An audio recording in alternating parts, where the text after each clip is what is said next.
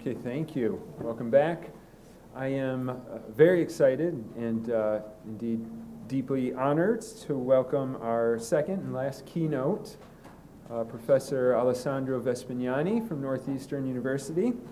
Uh, I, I think uh, Alex is a terrific person for this event.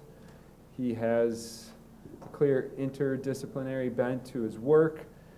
Uh, his, his work has just broad ranging influences, including uh, that of my own and several others in political science, but uh, also across uh, network analysis and uh, a, a, number of biological studies as well. I'll, I'll read his uh, a little more formal bio from him right now. His research activity focuses on the interdisciplinary application of statistical and numerical simulation methods in the study of biological, social, and technological networks. For several years, he's been working on the characterization and modeling of complex networks. He is now focusing his research activity in modeling the spatial spread of epidemics, including the realistic and data driven computational modeling of emerging infectious diseases, uh, the resilience of complex networks, and the collective behavior of technosocial systems. Prior to joining Northeastern, he was the uh, J.H. Rudy Professor of Informatics and Computing at Indiana University and served as the director of the Center for Complex Networks and System Research and the associate director of the Pervasive Technology Institute. Vespignani worked at the International Center for Theoretical Physics at UNESCO uh, in Trieste and at the University of Paris Sud in France as a member of the National Council for Scientific Research before moving to Indiana University in 2004. He received his undergraduate degree in 1990 and PhD in 1994, both in physics from the University of Rome, La Sapienza. He carried out postdoctoral research at Yale University and Leiden University.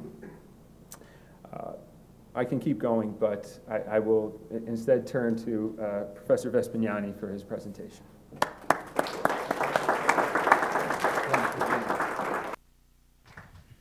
Thank you very much, uh, Dino, for the, how to say, very thorough introduction. And uh, thank you to all the audience. It has been a long day. You have a lot of stamina to be still sitting here. And uh, I will uh, uh, talk about, uh, I will take the, the, the, big data perspective and plug into modeling.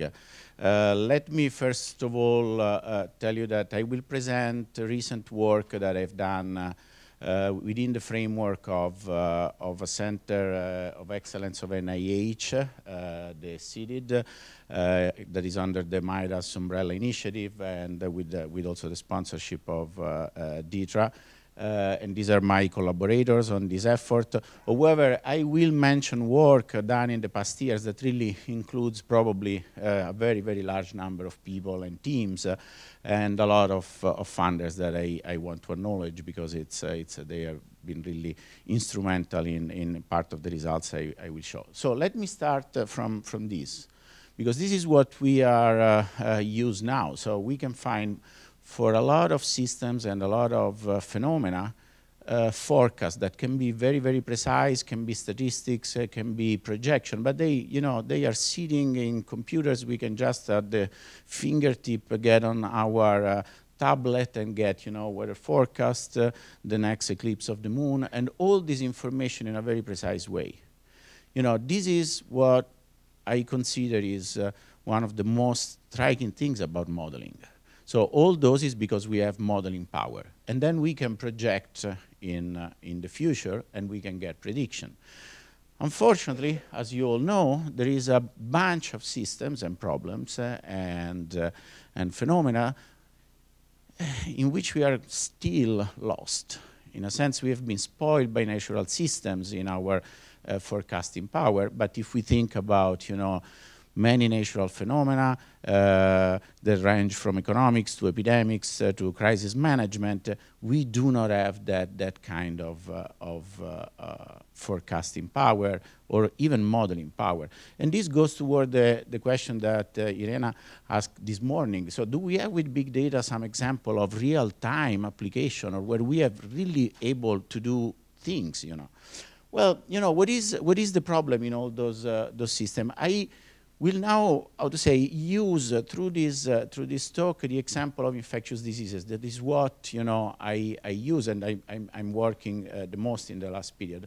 You know, for instance, you see that uh, uh, if you look at numerical weather models, the first approach is in 1920.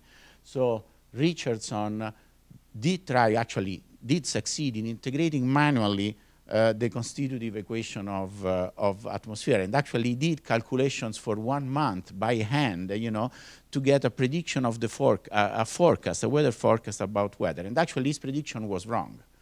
And it was not wrong because of the equation, but it was wrong because of uh, how to say, clerical errors in the calculation when you have to, to, to develop those kind of things. And he calculated even uh, what, uh, how many people should do calculation to get real-time prediction, and obviously where, you know, hundreds of thousands of people solving the equation at the same time. You know, the same, uh, in, in, around the same uh, period, you know, there were also numerical epidemic models like the, the, the numerical weather model. So in which uh, Reed Frost defined a simple chain binomial processes for a susceptible infectious recover model, and they did integrate stochastically with, uh, we say, a sandbox computer. That means really extracting uh, colored uh, uh, bolts from, from an urn. So, you know, really doing the hard stochastic simulation. And then, you know, we get uh, into the 50s where the first numerical weather forecast, actually a 24-hour computation for a 24-hour prediction, so basically useless, but, you know, it's uh, proof of concept, was done in weather. Well, same year, more or less, first Reed Frost model that is, uh, uh, see, sees a numerical implementation on computer. So you say, well, okay, the fields are aligned.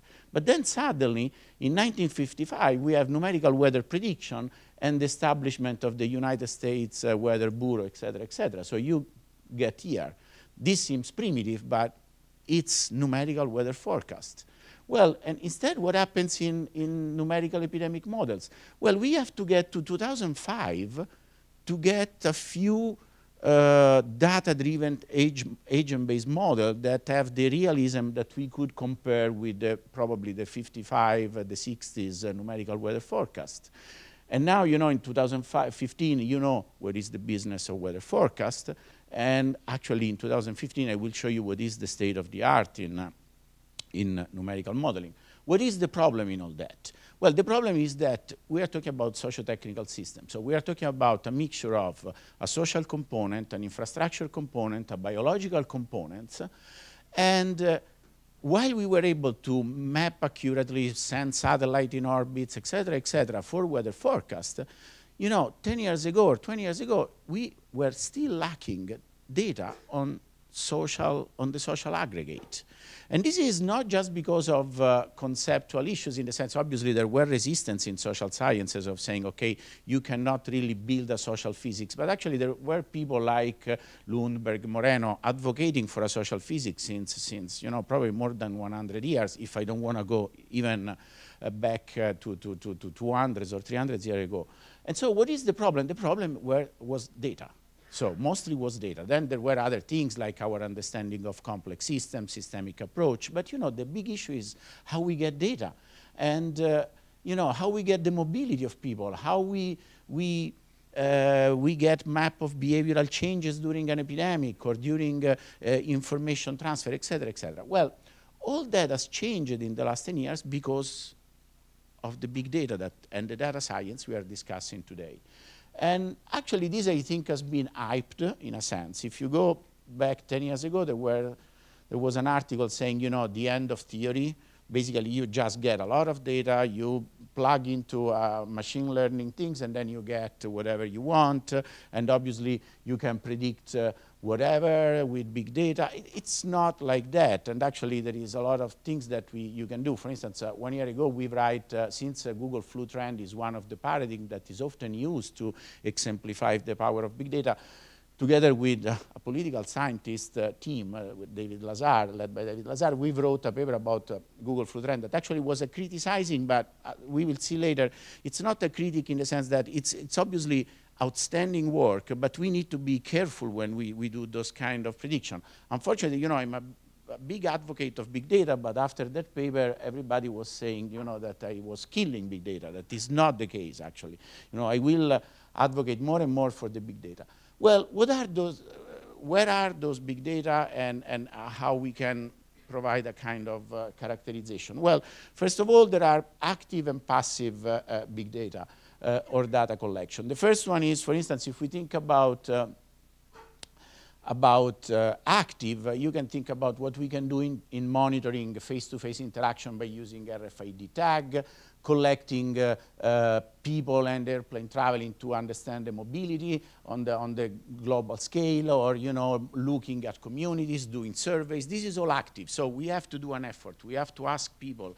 We have to collect data in a way that involve, uh, you know, participations. And there are also participatory platforms like uh, you know where you ask volunteers for instance to tell you about uh, uh, their health status et etc etc uh, but there are also passive uh, data collection. For instance, everything that we can get from mobile phone traces, uh, all the mobility that have been used uh, even in remote region of, uh, of the world, you know, in West Africa or in big cities, is data that are passively collected just by the fact that we leave these digital uh, uh, crumbles uh, with our telephones, et cetera, et cetera, we don't need, in a sense, the participation of people. We just get flooded by that kind of data.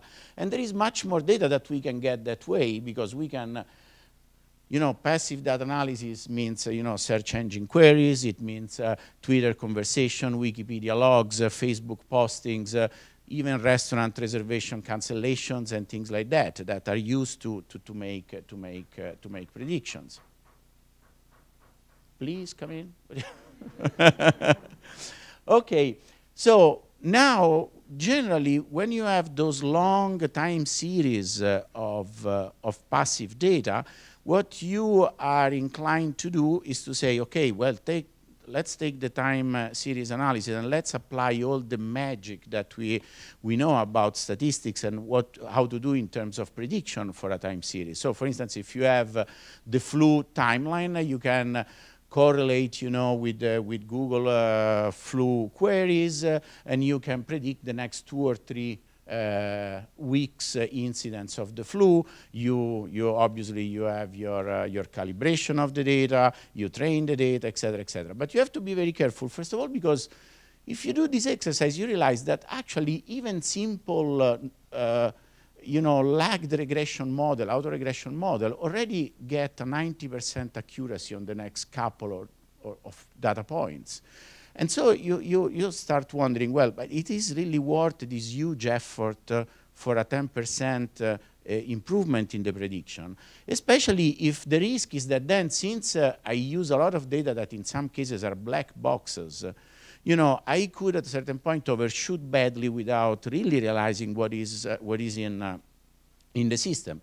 And then there are a lot of statistical biases. This is a very nice paper by Marcel Salathé that was looking at uh, the Twitter signal. And obviously you can correlate with uh, words like flu or uh, sick, and then you get a very nice correlation with the flu uh, time series. But then if you take zombies uh, as one of the keywords, you get even a better correlation. And so what is the point? You know, you, you have to be very careful. So what, what are you doing? It's, you know, every time that you put a bunch of, uh, a large amount of data into those kind of systems, you get good results, but what, what really are you, are you learning? And this is one of the things I'm advocating here, is the fact that actually you don't want to just do nowcast. You don't want to just predict the next three time step or, or get an information about a time series analysis. What we, why I'm so fascinated by weather forecast is for this kind of exercise. When you take an hurricane, and then you try to have, you know, ensemble prediction and combination of models that will tell you the trajectory, you know, several days in advance, one week in advance. And why is that possible? Not because you have just the time series of that, but actually because you know about the physics and the microscopic processes that you plug into the model. And this is what you want to do with socio-technical system. You want to understand not just, you know, what will be a certain number, but you want also to get information about the macroscopic effects. So what, what is happening? What is the, the, the, mechanics driving the system? What are the behavior of people, et cetera, et cetera. So if you think uh, in, uh, in these terms into in, in the uh, epidemiological framework, in the epidemic modeling world, what you want to do is to create a kind of weather forecast in which actually your agent, your, your, your atoms are the people, and then you want to go what we call micro-individual based large-scale computational models of disease spreading. Well, this means that you need to have, uh, you can use different techniques. You can use individual-based uh, structure metapopulation model, uh, agent-based model. But obviously, all those issues have, have one have the same challenges. You are looking at simulating from 100 millions or uh, millions of individuals to billions of individuals. So you want to have a lot of very precise data, and these models are data hungry.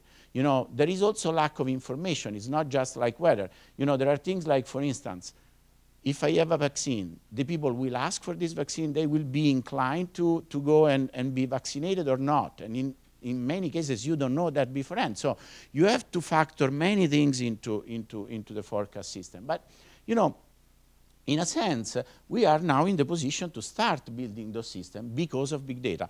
This is the example I, I, I provide. This is something that we started 10 years ago, and this is for global uh, epidemic modeling. So we have, uh, we collect many data layers that goes from population and census data uh, on a grid that is five by five miles and uh, over the, the, the, world. And then you get all human mobility data that you can gather from airlines uh, to commuting pattern, et cetera, et cetera. And then on top of this simulated world, you plug the disease. The fact that uh, individuals can get sick, they meet other people, they can transport the disease, uh, uh, they can be the carrier that transport the disease in other places in the world, and out of that you get a kind of microscopic simulations of the disease evolution once you know the initial condition of the, of the infection. That means the number of individuals, the cluster of people that are sick, the transmission dynamic of the disease. You need, obviously, for each disease a different model. There is no model that fits all diseases. It depends on what is the, the pathology. Well, but we can do that, uh, and uh, hopefully this works. Yeah. Uh, it's here, but not. Yeah, oh, okay. So, and the, the, architecture of the system is uh, you have a bunch of data that comes from, from the outside. This is the data science part, you know, demographic data, mobility data, behavioral data, the epidemic model, that is other data that are coming from the field. And then, you know, you have all these 6.5 billion individuals that you simulate traveling across their, the, the, the, world. And then you try to uh, uh, create a model that uh, forecasts the evolution of the disease. Well, let me say something that, again, echoes what was presented during the, the morning. Networks are very important because actually in a cognitive way, for us, it's much easier to think about epidemics in this sense. We say we have red maps, you know, where you have the level of infection, et cetera, et cetera. But all those models are network models because we people interact as networks, we travel on origin destination matrices. So basically the algorithm is a large network model in which you have those kind of construction. You have households, families, uh, the kids go to school, uh, the parents goes to the work, and they meet to each other. You create large bipartite networks with different kind of interactions, and at the end you have a unipartite projection with all the interaction, interactions of individuals, different transmission along those connections. And what you do is to simulate the world and to try to get information on how the disease spread in this kind of synthetic system. Well, obviously, this is very nice, and you can do nice uh, simulations in which you start with a certain disease in one city, that's London, and then you look really at people boarding on airplanes and going to other places, seeding the disease across the world. This is a simulation of a highly pathogenic disease uh, for London that was done for a simulation for the Olympic uh, Games, uh, and is just to see how it could spread worldwide uh, highly pathogenic disease from, from, from the city. You see that in 93 days it's already in most of places of the world. And you can really follow individuals on each connection. Obviously, those simulations are stochastic. You repeat it again, you have a different pattern. What you want to do is to repeat that things many, many times and get all the statistical information, the pathways of, of the disease, the most likely place where it will show up, and so on and so forth. Well, you would say, okay, this is a very nice uh, simulations, but there is any connection with the reality. And that's one of the questions. We are playing SimCity. So we don't want to play SimCity. And so what you, we do is, for instance, uh, this model was validated during the H1N1 pandemic in 2009. Uh, you see here our prediction for, of the model for the peak in the northern hemisphere. The peak uh, that we predicted was around October, November. That is a very anticipated peak for, for a flu, also if it's a pandemic. Uh, in most places of the world. And actually, we did the prediction in, uh, in June. Uh, and after uh, one year and a half of painful data, data collection, uh, you see now in red what was the surveillance system. So that was the peak according to the data of the national surveillance system. So you see that the model already basically produced data which were able to forecast the peak uh, in the northern hemisphere by with a precision of one or two weeks. So this is something that obviously is not the whole game, but you know, start to tell you, okay, you are on the right path if you have enough data, because this is just a matter of uh, having good data for transformations. The big data, this is the error, this is the 95 confidence interval. If you are wondering about that, is that this is unfortunately is uh, you can have different uh, um, uh, different kind of uh, seasonality effects that depends on the weather, and there are many parameters that enters that, as I was telling you, are not able to predict beforehand that uh, uh enlarge your, uh, your, your confidence interval. And there are a few places, for instance, in which you see that the data points was off the, the uh, the, the, confidence interval. And actually, you have to go and study case by case. For instance, France and Switzerland was an issue with the school calendar. We didn't know that in October the school were closing for two weeks, uh, and so that has a delay in the progression of the epidemic. And then you have to start, you know, to include more and more data to be more and more precise. Now, what you do with this kind of uh, of things? Well, you know, you can uh, try other stuff, like for instance, uh, uh seasonal flu. Oh, that's uh, in principle should be one of the simplest ex exercise to do. Unfortunately, seasonal flu is one of the toughest exercise to do. For a pandemic, you generally know the initial conditions, so a date uh, and an initial place uh, for the disease spreading. Unfortunately for the flu, we know that the flu is always with us, but then peaks during the season, there is the drift of the virus, etc., etc. And so it's much more difficult to get the initial conditions. Now the CDC issued a, um, a, challenge, and we, as well as many other modeling groups, uh, tried to define a way to predict the flu. And one that we found was, uh, was uh, an open system, because actually we fed with Twitter data, but actually can be fed with many other kind of social data, is, uh, uh, is a combination basically of a generative model and this uh, social data part. So what you get is that you want, uh, you aim at creating the initial condition of the epidemics from Twitter data, from the conversation of people about the flu, and then you plug this initial condition into the generative models, and then you select the model according to the data that you have seen so far. This is obviously has a lot of technical uh, uh, issues. Uh, you have to define what are the, the words that you, that you really look into the tweets. you have to geolocalize tweets, and I don't want to, to get into the details of problems that you know very well from the conversation of today about you know, what is the, the accuracy that you can have on geographic resolution, et cetera, et cetera. But it's possible to get decent initial condition because you don't want to know the exact number of cases. You want to know basically the relative difference in the conversation about influenza in different regions of the United States. You can plug these relative differences into an initial condition uh, uh, function for the model that then you explore, you know, parametrically. And so you just basically are aiming at getting something that gives you uh, relative uh, uh, density of, uh, of, of prevalence and not the actual value of prevalence.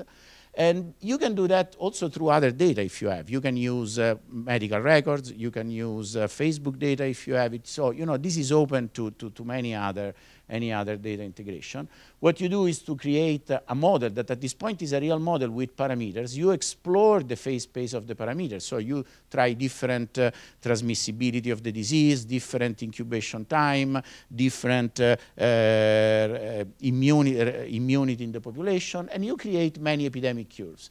you look at those epidemic curves uh, against the data that you have up to that moment, and through various statistical selection uh, approach of the model, you get a set of models that best fit uh, the data that you have at that point, and then you can project along the, the season.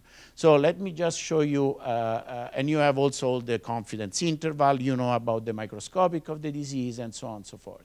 Well, you can do that, uh, and if I do that and I'm able to go, yeah, you can see that you know the models predicts, for instance, the season start and the peak week and the peak intensity, these numbers is how many weeks in advance is the prediction.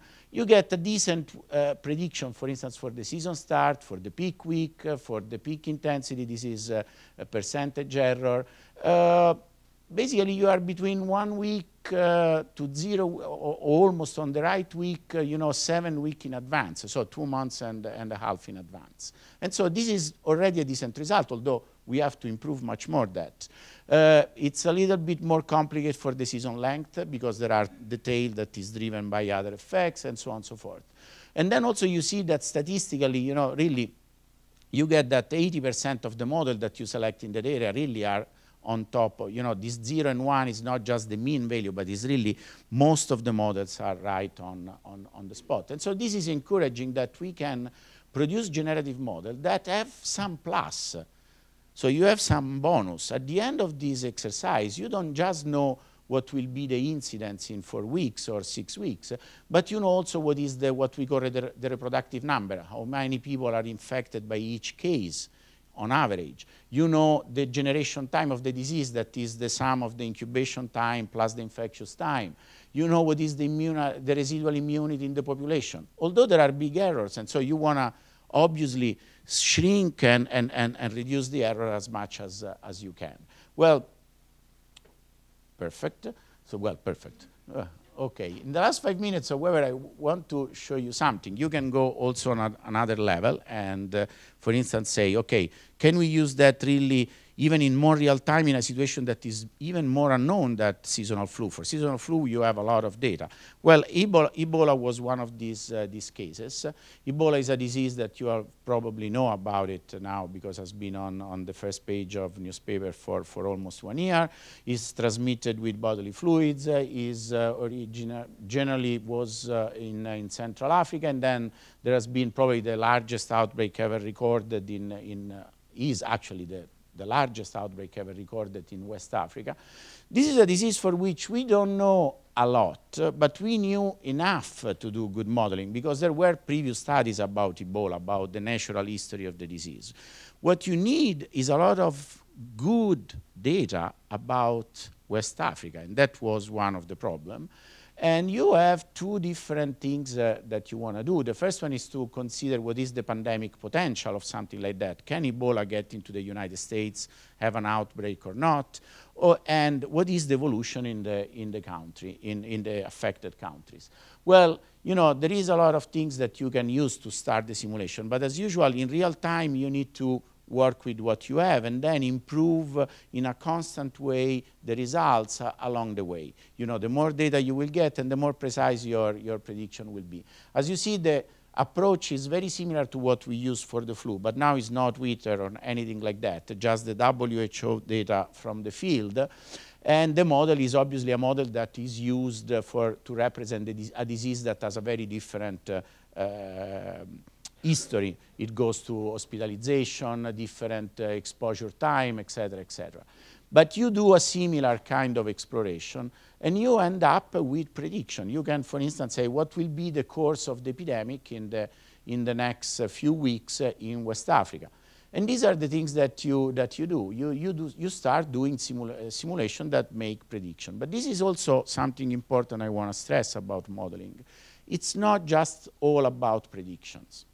Prediction obviously depends on many things. There are a lot of caveats. It's interesting, it's good because they give you, uh, give you numbers to work with. But actually, you know, the modeling is important also because it's more than forecast. You have what we call situational awareness, intervention planning, uh, structure reasoning, many things that you can do with modeling if you have uh, enough data to do some, some good modeling. And I just give you an example. For instance, situational awareness.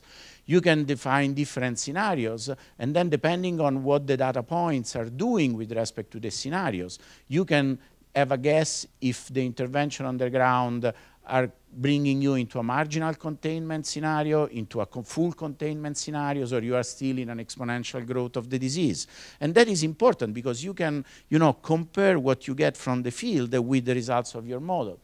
You can project what will be the probability, for instance, of observing cases around the world of the disease. And what you get, you know, is that in the case of exponential growth, you get a lot of cases uh, after uh, four months, but you don't have to worry initially. And if you are in the marginal containment, you don't see more than one or two cases at the most. So those are all things that uh, uh, are used by agencies. Are you know when you analyze the situation, you wanna you wanna you wanna get that information. Well, you have also epidemiological explanation. You can look at how really the disease has spread across across the, the, the, the region, or do something that is important is the counterfactual thinking. So one of the points with Ebola was to say, what has more effect, to build Ebola treatment units, uh, provide uh, uh safety, safety kits to the households, uh, do safe burials. Well, and then it's very difficult to disentangle that from the data you get from the field. With a model, you do a counterfactual things and you say, okay, I just build ETUs. I just uh, distribute kits. I just do safe burial things. And then for each of these interventions, you get how many averted cases you get. Obviously, you need to have good data about the population there, about the mobility, about the international travel, but this gives you an idea of what, what you can expect by each intervention. And in a sense, what I'm saying is that from time to time, if you are building on good data, you know, modeling is not important, uh, uh, uh, is important uh, not despite the lack of data that you would like to have more, because always you want more data, but actually because of the lack of data. Because that lack of data, you know, is where you can go in the model and see what you would need more, what is really needed to get better, better prediction. And really, in one minute, uh, I tell you, well, what I've presented is something that is for infectious diseases, is the geography, is the space, is the people. But you can get in something that is, you know, the social space that now we can map. And when we talk about uh, contagion phenomena, we can talk about uh, knowledge diffusion, information, uh, science, uh, how, you know, our uh, voting preferences uh, are communicated, etc., etc. And all that is just a contagion process in a space that is not anymore a geographical space, but is a social space and could be our friends on Facebook or, or, or, or whatever else. And you know, you can start doing uh, and, and make prediction and work in this area.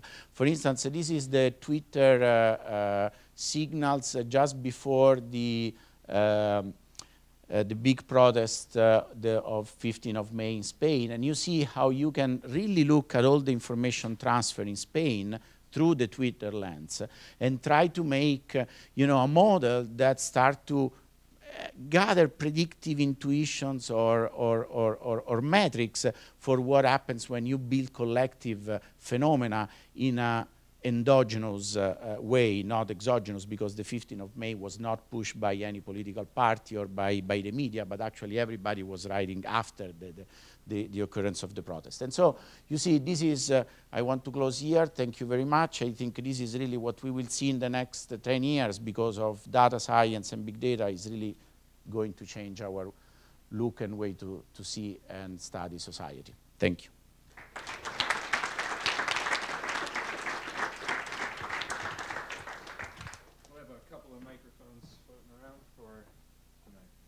Oh, please. I can see this on this side.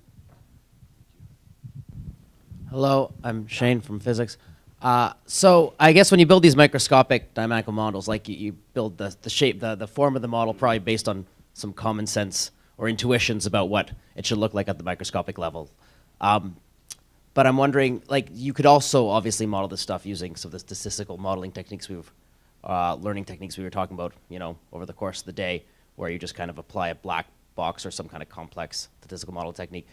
is there any ways ever uh, to get kind of if you did use you know a statistical modeling technique like uh, a, or statistical learning technique to get some intuition from that from that kind of like what we usually we think of as a black box to get the intuitions of what a microscopic model might be for that system out of it? Is that something that can be done at all?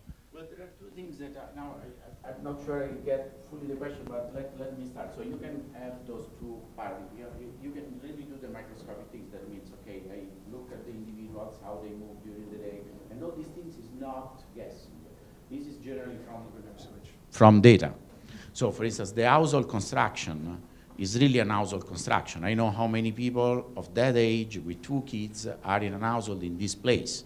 It's not something that I'm guessing. It's, it's a real construction. It changes for each country, it changes for each city, it changes for everything. It's just from, from real data. Just to tell you, when we simulate the epidemic in West Africa, we need to count the number of uh, houses in the villages and how is the distribution of houses in villages. So you are really recreating a synthetic population of the place. Then there is the other approach that is, as you say, is a black box. So you can get a lot of data and start to do a lot of uh, uh, techniques and try to get the prediction. My experience is the following. If you do, if you want to have a prediction for the next couple of points, of data points, that means generally in diseases is uh, what is the number of cases in the next two weeks. Huh? The statistical methods are much better performing. So they are better, they really get the trend, and then since it's a statistical analysis, as you say, it, you get very good, up, uh, uh, good numbers. The, uh, the generative model can be less precise on the short term, but then they give you, since they have the mechanics of the epidemics. They know that you infect a part of the population and then the population get exhausted or susceptible individuals. You have, you have you know, the, the dynamics of the model. They are much better for the long term. And so if you say, well, what will happen in two months, uh, you know, in terms of profile, et cetera, for the flu, you generally get things which are a little better. The problem for all models, and that's all of us, uh, is, uh, and whatever is the situation, is that epidemics are not like weather forecasts. This is the usual thing.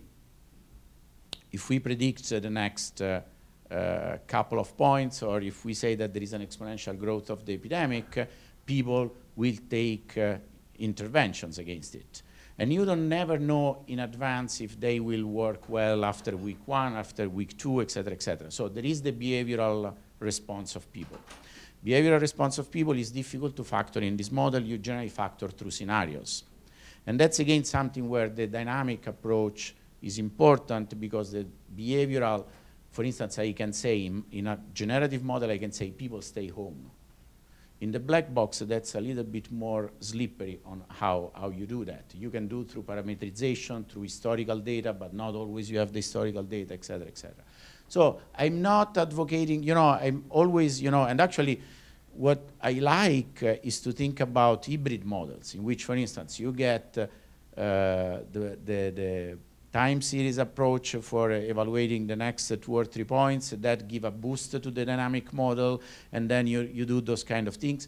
And then, in my opinion, what is the final things that we have to do in this area is to create uh, ensemble forecasts that are coming out of many, many different models, from many different models, like from a portfolio of models, uh, exactly as is, it is done for, for, uh, for hurricanes. And then you combine those models with many of the techniques that you find, you know, from Bayesian averages, et cetera, et cetera, and you get even better, better prediction because they are coming from different models, exploiting, uh, you know, different kind of data, different black boxes, et cetera, et cetera. Is, was that addressing your question?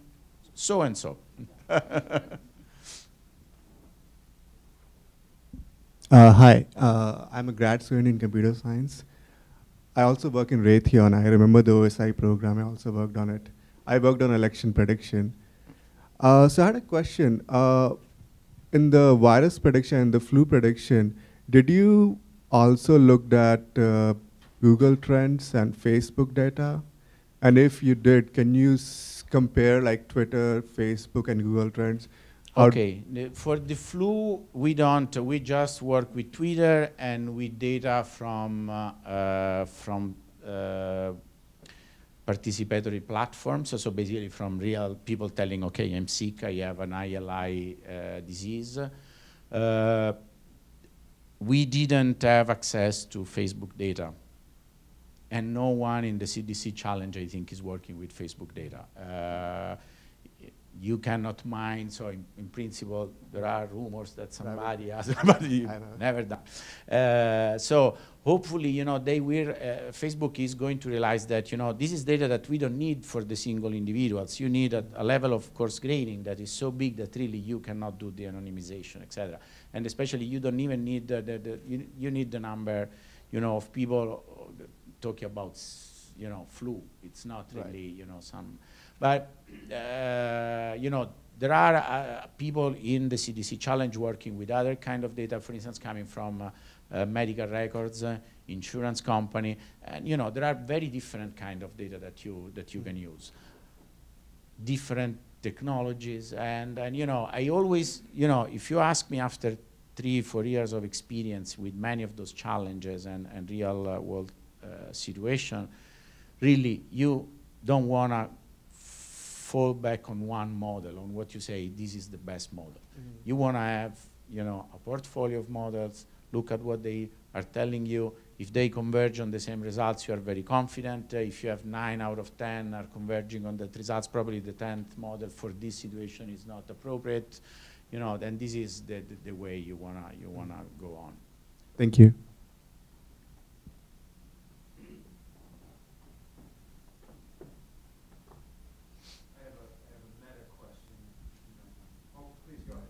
Okay, uh, Patrick, I'm uh, yeah. phys from physics. Um, so you mentioned a lot about doing using this for diseases, um, but your title says socio-technical. So I was wondering if there are other things that you're trying to model and predict about um, you know what people are doing. So like, uh, I, I, know in your slide you showed something with you know uh, armed conflict. So are you is are you or others doing things to try and maybe predict um, what's going to happen with an armed conflict based on various parameters and such?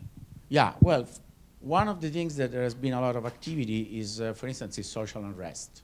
So uh, the fact that at a certain point, for reasons that it's not, are not clear from uh, exogenous uh, reasons, uh, you have people starting to, to, to, gather in a square and, and starting to protest against, uh, you know, a law, a government, etc., etc. How this is built you know, the classic things, example that many will, will, uh, will provide you is, uh, is, is the Arab Spring or other situation like that, where actually it's interesting, it, those, those kind of examples are in interesting because there is this general common belief that, you know, somehow social media have helped the coordination of those phenomena, and so you try to see how really there was the emergence of a collective phenomena. As a physicist, you would say, it's, uh, in, in those areas. It's not easy because obviously what happens is that for diseases, uh, you work on, on a biological process that you know. I have the flu, I have to be at a certain, I, I need to have an effective contact with somebody. An effective contact is defined in a certain way, and I have a certain probability of transmission. This probability of transmission is a free parameter, etc., etc. And is what we call simple contagion. In social phenomena, there is the issue of complex contagion. So if I'm exposed to, both of them are sick, and I have an interaction with him and an interaction with, uh, with him. Well, my probability of getting the disease is the same. But if I'm talking about contagions of ideas, information, if I have an interaction with him, perhaps I'm not infected. But then if I have an interaction with him, and this reinforcing the mechanism, in a cognitive way, I have a larger probability to become infected because I, two of my friends have been telling me the same stuff. And so, you know, and then the third time probably is even more. So all that creates much more complications in, uh, in, in, in, the modeling. But, you know, there are attempts, and then you see there are papers about uh, voting systems and uh, the spreading of the emergence of collective phenomena, how to do predictions, et cetera, et cetera. And also in that case, uh, I would say for that kind of situation, we have much more intelligence from uh, systems which are st from statistical approaches than really the generative ones. Please. Um, so I, I, I am Jonathan from physics. So, so you mentioned that the two... A lot of physicists. so you mentioned the two kind of classes of model building, one statistical and one like, you know, you've got your parameters and you wiggle them. Um, is it possible to have the black box approach, uh, but then kind of unblack box that, that approach and kind of get out underlying, you know, microstructure that you m- might get out from a physical model? Yeah, this is similar to his question. Obviously, I can use the Blackboard. You know, I can use uh, uh, machine learning to learn a lot about the system. You know, I bring then, uh, you know, a lot of information. I start to do machine learning and just to cluster things, and I get the determinants of the disease. This is, yeah, that's obviously what you want to know. And this is important. For instance, uh, for one of the things that is important in infectious diseases is the contact structure. So obviously, a small children has a different contact uh, pattern than a student, than an old guy like me, et cetera, et cetera. And what is the determinant of, uh, what, what is more uh, determining the spread of the disease? Is the kids, uh, the, the, the, school uh, environment, the, the, the workplace, et cetera. In that area, you know, machine learning, pattern recognition, et cetera, they can, can be great because they can give you information on how to modulate within the microscopic, well, the, the more generative approach. And so that's for sure, these are things. I'm not, you know, again, I want to really stress, I was making, uh, how to say, my case. I was, and, you know, uh, since I'm a physicist, I'm more inclined to the dynamical modeling and et cetera.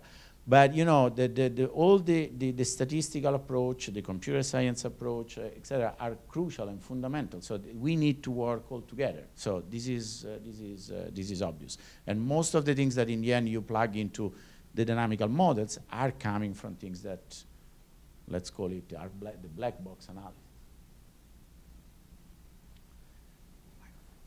Could you please just give a short comment on what do you mean by science of science?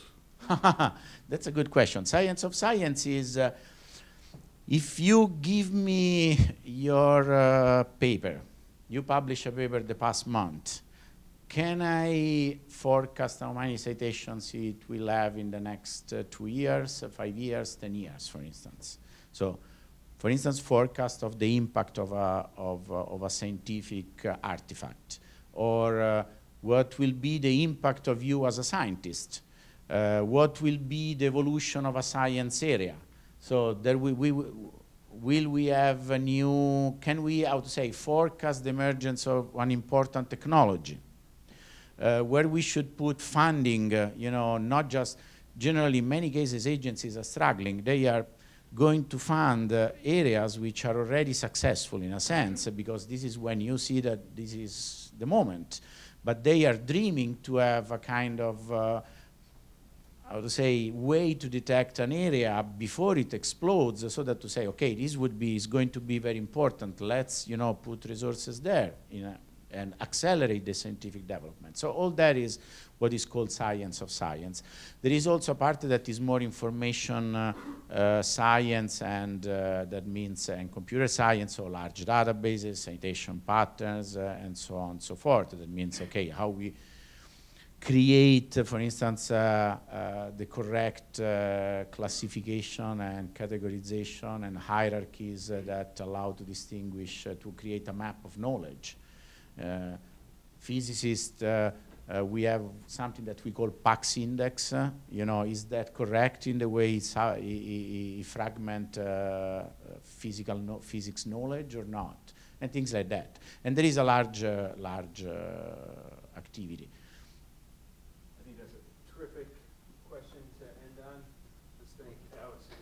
Thank you very much.